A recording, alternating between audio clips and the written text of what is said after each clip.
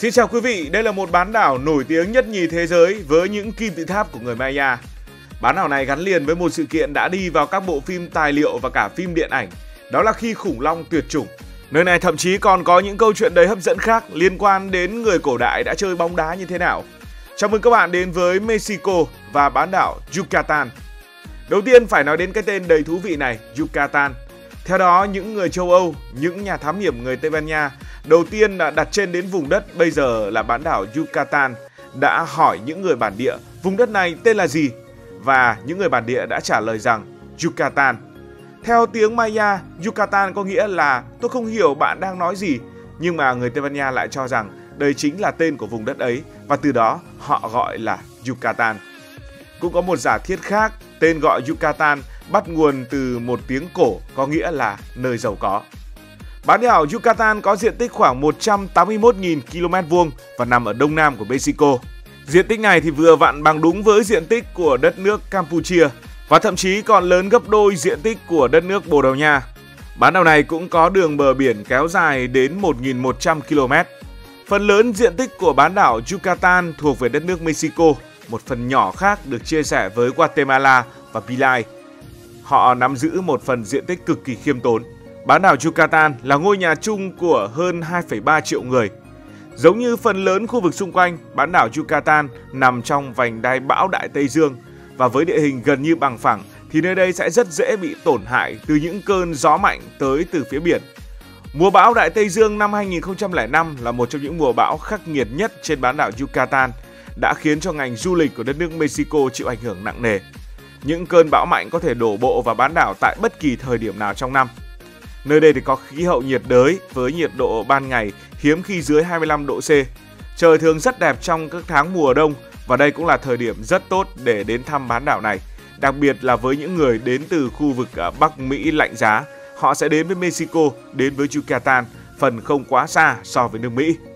Tại Yucatan thì du khách sẽ được à, khám phá những bãi biển tuyệt vời và cả những hố sụt tự nhiên. Bỗng dưng thì mặt đất lại tụt xuống, hình thành một à, khu vực nước trong xanh sẽ có nhiều người tò mò tại sao ở một khu vực thấp như vậy mà nước lại trong xanh như thế, là bởi nước mưa đã được lọc qua nhiều lớp địa chất, nên lúc nào nó cũng sạch. Đây chính là một điểm thu hút rất nhiều người đến với bán đảo Yucatan để lặn và để khám phá. Khu vực nào cũng có lịch sử của nó và bán đảo Yucatan có lịch sử của riêng mình. Đây là một nơi cực kỳ quan trọng đối với nền văn minh Maya cổ đại. Có nhiều địa điểm khảo cổ Maya khác nhau trong khu vực này Bán đảo Yucatan ngày nay vẫn có những người Maya sinh sống và tiếng của người Maya vẫn được sử dụng trong khu vực ngày nay.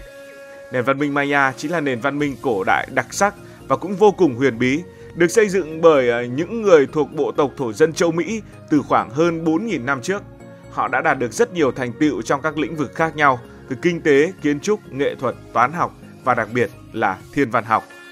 Nếu mà bạn đã từng xem bộ phim ờ, 2012, bộ phim về ngày tận thế hoặc nghĩ lại chừng 10 năm trước có rất nhiều đồn đoán về ngày tận thế thì những nhà làm phim đã sử dụng tiên đoán về ngày tận thế vào năm 2012 của người Maya cổ đại.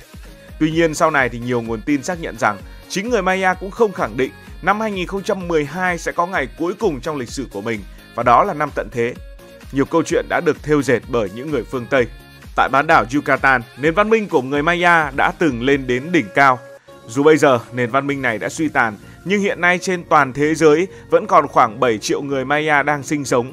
Một phần trong số 7 triệu người này đang sống tại chính bán đảo Yucatan. Nền văn minh của người Maya đã bị lụi tàn khi người phương Tây đến với nơi này, nhưng những gì được họ xây dựng thì vẫn luôn còn mãi. Trong số đó có Chichen Itza là một quần thể di tích đồ sộ. Quần thể này nằm ở phía bắc của bán đảo Yucatan và thuộc đất nước Mexico. Đây chính là công trình ờ, vĩ đại bậc nhất còn sót lại đến ngày nay của người Maya những người đã sở hữu nền văn minh đáng kinh ngạc. Tên của công trình này cũng rất thú vị. Trong tiếng Maya, Chichen Itza có nghĩa là miệng giếng của Itza. Cái tên này được cho rằng gắn liền với vị trí của khu thành cổ. Nó nằm trong một khu vực khô hạn của vùng Trung Mỹ. Nguồn nước chủ yếu lấy từ những hang động trên núi đá nham thạch gần ngôi đền nên mới được gọi bằng cái tên như vậy.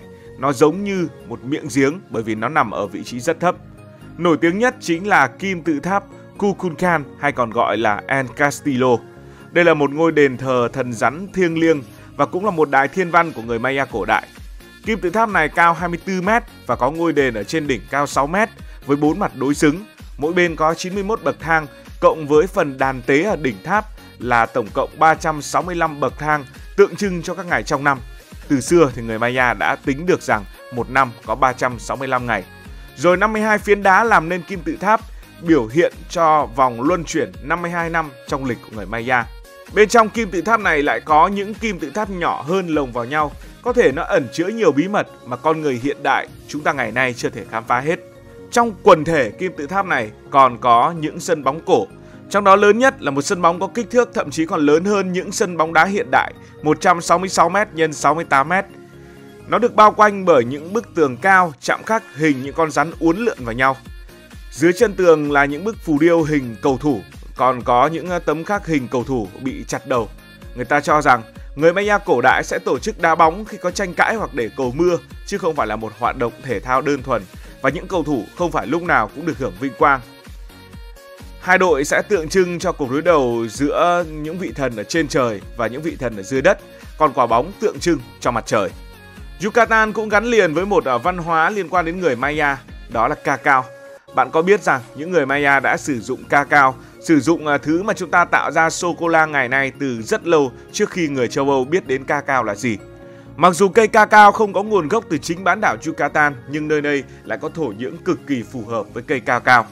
Đối với người Maya ngày xưa, sô-cô-la giống như một loại thức uống chứa đựng những à, dấu hiệu về mặt tâm linh và họ tin rằng đó là thức uống của thần mưa. Một điểm cũng đặc biệt thú vị tại Yucatan đó là Celestun, nơi có hàng nghìn con hồng hạc. Đây là một thị trấn ban đầu có nghề đánh bắt cá nhưng bây giờ nổi tiếng hơn vì du lịch và người dân ở đây có lẽ cũng không cần phải quá vất vả trong việc đánh bắt cá nữa bởi họ có một nguồn thu tới từ những du khách đến với thị trấn Celestone để ngắm hồng hạc. Hàng ngàn con hồng hạc sẽ tập trung kiếm ăn tạo ra một cảnh tượng vô cùng ngoạn mục. Và ở Yutakan, hóa ra có một điều rất giống với Việt Nam ta rất quen thuộc với Việt Nam, đặc biệt là trong những ngày mùa hè nóng bức. Đó là những người tại Yutakan thì thường à, thích nằm võng hơn là nằm giường. Bởi vì nhiệt độ vào mùa hè rất là khó chịu nên các ngôi nhà ở Yutakan hầu như nhà nào cũng có chỗ để mắc võng. Võng là một phần không thể thiếu trong cuộc sống của những người tại bán đảo Yutakan và người ta vẫn nói vui với nhau rằng nếu mà đến Yutakan mà chưa nằm võng thì coi như chưa đến với nơi này. Cuối cùng, giống như phần à, tiêu đề và hình ảnh minh họa các bạn đã thấy, đây chính là nơi dẫn đến sự kiện khủng long bị tuyệt chủng. Cách đây hơn 60 triệu năm, một thiên thạch khổng lồ đã va chạm với bề mặt của trái đất. Sự va chạm này đã tạo ra một vụ nổ siêu lớn và là nguyên nhân gián tiếp dẫn đến sự diệt vong của loài khủng long. Các nhà khoa học vào cuối thế kỷ 20 đã tìm thấy một chiếc hố kỳ lạ ở bán đảo Yucatan tại Mexico. Một nửa chiếc hố thì nằm trên bán đảo và nửa còn lại thì đang chìm trong nước biển. Chiếc hố này được à, đặt tên là hố Chicxulub theo tên của khu vực mà nó được phát hiện ra. Nó có đường kính lên đến khoảng 180 km.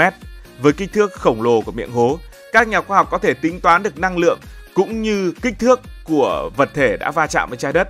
Theo dự đoán, thiên thạch khổng lồ đã rơi xuống trái đất có đường kính ít nhất cũng lên đến 10 km. Vụ nổ này đã tạo ra những đợt sóng thần có độ cao từ 100 đến 300 mét đánh mạnh vào bờ biển. Tiếp theo đó là hàng loạt những thảm họa thiên nhiên khác đã nối tiếp nhau và khiến khủng long không thể có chỗ để à, nương trú, không thể tìm kiếm được thức ăn và chúng đã bị tuyệt chủng. Có thể nói, bán đảo Yucatan chính là nơi đã chứng kiến thảm họa đầu tiên trong chuỗi những thảm họa khiến cho loài khủng long không còn tồn tại trên trái đất được nữa. Cảm ơn các bạn vì đã quan tâm theo dõi câu chuyện này, câu chuyện về bán đảo Yucatan. Nếu mà cảm thấy thú vị, bạn có thể nhấn nút đăng ký kênh, bật chuông thông báo và chia sẻ. Còn bây giờ thì xin được nói lời chào tạm biệt